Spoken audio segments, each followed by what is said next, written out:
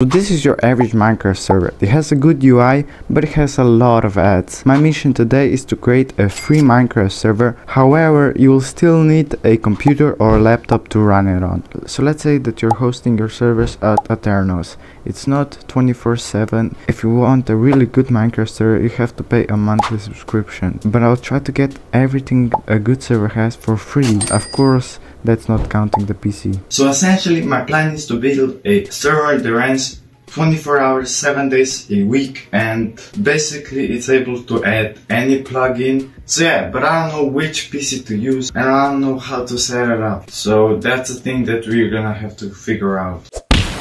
So I want a PC that has a really nice performance, it also doesn't cost that much and is easy to set up.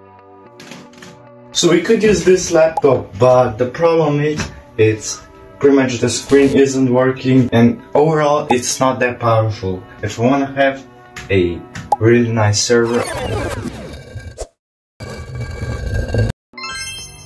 I need a better PC. If you have a really nice laptop that you don't use, this could be actually a pretty good use for it. That's why we're gonna use this PC setup. It's pretty nice. It's not that not it's not like a crazy PC. It should be good for the server and yeah, we're gonna set it up. So to start the server, I use PaperMC because honestly, I don't know why. I just clicked the first video I saw and this one came up, so I watched it.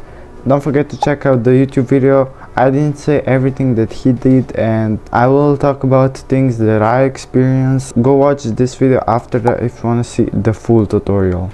Probably the easiest part is installing the actual server. You just install PaperMC like I did right here and then you install Java which basically runs the entire server on Java and Java is basically the application that Java Minecraft edition is running on so it could be compatible. The hard thing is connecting other people to your server. But we're gonna figure that out later. First, we're just gonna click on the paper.mc file. The files will magically just start to appear. Basically, our server is created. Before we start the server, you just need to go in this file and change it from false to true.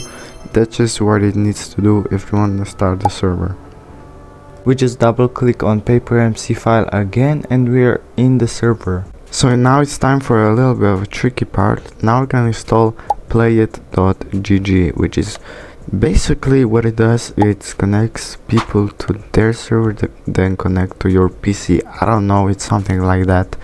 You can learn more about them on their website. But yeah we're gonna install play.gg so the installation process for play.gg is a bit harder so don't forget to watch this video carefully and just copy everything I do. First, you gotta search for play.gg on Google or just go into my Discord and get the link. Then, you're gonna click Windows installer and download the Windows installer. It's, that's pretty simple. You save it wherever you want, then you just open it and then you will see a URL and that URL you gotta copy and paste into whatever browser. Make sure that play.gg is running in the background.